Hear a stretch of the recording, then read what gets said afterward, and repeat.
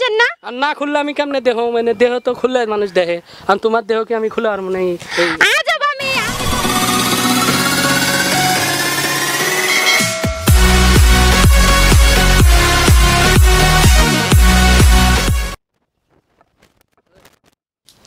Hello আসসালামু আলাইকুম ভাইয়া ভালো আছেন? এই আপনি কেডা? আমি গার্লফ্রেন্ডের ছবি দেখতে লাগছে এই সময় হ্যাঁ? তাই? আমাকে আপনি চিনবেন না। আর তো আমি ইউটিউবের চ্যানেল থেকে আসছি আপনার সাথে একটা দাদা খেলব তাই। কি আর এলা ধাঁধা মাথা খেলবে এলা? খেলেন মজা লাগবে। আমি ছবি দেখতাছি এটাই আমার ভালো আছে। আমার এলা ধাঁধা মাথা খেলা লাগবে না।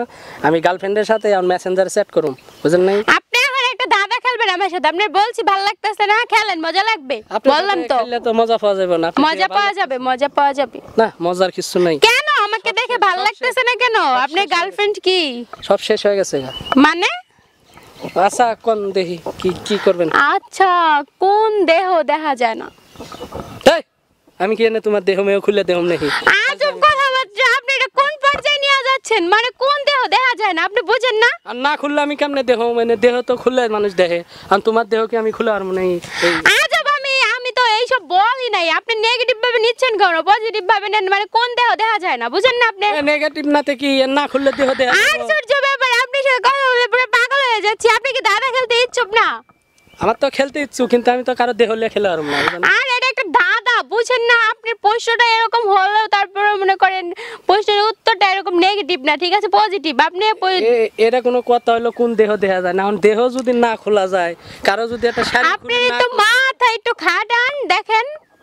না কি মাথা খাটা মানে কোন দেহ দেখা যায় না? যদি কাপড় চুপুর দেহ মানুষ ঢেকে রাখে ওটা কি আমি দেহ পাবো নাকি আজব তো আপনি ভাবেন এটা একটা দাদা বুঝেন না দাদা আপনি ছোটবেলায় আপনি নানুর সাথে দাদুর সাথে নানির সাথে খেলেন নাই? এইরকম দাদা আমি খেলি না খেলেন নাই?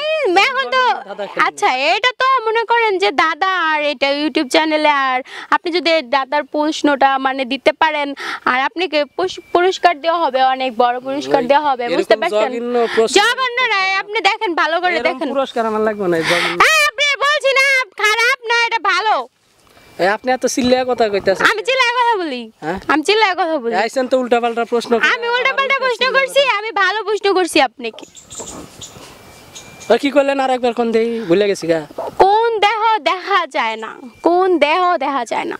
আরে আল্লাহ এগুলা এগুলা কোনো এই আপনি কি এগুলা কাম দিচ্ছেন প্রশ্নের উত্তর দিবেন? কি আর কাম নাই আপনার? খাওয়া কাম নাই এই কাজ করে অনেক টাকা পাই। এই মানুষের উল্টা পাল্টা প্রশ্ন করে খালি পাও যে জি না আমি আমি শুধু একা টাকা পাই না যে প্রশ্নের উত্তর দেখায় ও টাকা পায়। বুঝতে পারছেন? হ্যাঁ টিয়া তো পাবো। উত্তর দেন আপনি আপনি আর অনেক টাকা দিবে। তারে দেয়া হলো কামাইবা বিশ হাজার দিবা হলো দুই টিয়া। বলে দুই টাকা দিব কেন? তা যেতটুক পাবে তাকে অতটুকুই দিব। আপনি প্রশ্নের উত্তরটা দেন আপনি এতক্ষণ যদি আপনি এতক্ষণ যদি সময় নষ্ট না করে যদি প্রশ্নের উত্তরটা দিতেন তাহলে তো আরও টাকা পেতেন। আচ্ছা টিয়া টিয়া লাগবে না আমার? আমি দেখি এমনি চেষ্টা করে দেখি। উত্তরটা দিবার পারি না হ্যাঁ চেষ্টা করেন। ঠিক আছে। আর একটা ছোট্ট রিকোয়েস্ট ছিল বুঝছেন। আমার তো আবার ওই যে গার্লফ্রেন্ড টার্লফ্রেন্ড নাই। যদি প্রশ্নের উত্তর দেওয়া হারি তাহলে আপনি মানে সিঙ্গেল আছেন নি? কে আমি? হ্যাঁ। আমার দুইটা বাচ্চা আছে। না এত দায়িত্ব আমি লিয়ে হারম না। যাই হোক আপনি ফিরি আমি প্রশ্নের উত্তরটা দেওয়ার হ্যাঁ। চেষ্টা করতেছি। তাহলে কি কইলেন? কোন দেহ দেখা যায়? দেখা যায় না হ্যাঁ। কোন দেহ কোন দেহ কোন দেহ? দেহ আমিও তো গার্লফ্রেন্ডের সাথে একটা বিশাল প্যাচের মধ্যে আছি। হ্যাঁ এখন কোন চেষ্টা করেন। কোন দেহ দেখা যায় না ঠিক আছে? দেখা যায় না কোন দেহ দেখা যায়? কালকে আমার মামা তো বোনের সাথে আমি কথা বলছি আর আমার এই গার্লফ্রেন্ড শালি সন্দেহ এই যে পেয়ে গেছি ঠিক আছে? এই যে সন্দেহ এটাই দেখা যায় না ঠিক আছে?